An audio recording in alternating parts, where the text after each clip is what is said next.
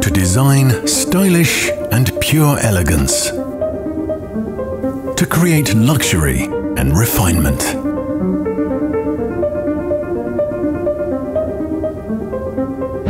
There is always talent involved, creativity, passion. Yet, it is also a matter of masterful skills, devotion, and struggle.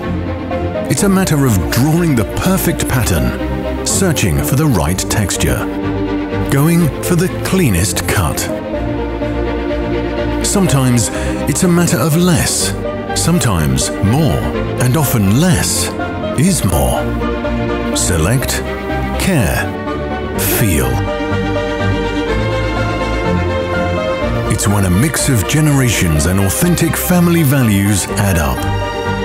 Then like-minded souls are enabled to create abundancy, simplicity, freshness, minimalism, flamboyancy, glamour, intensity.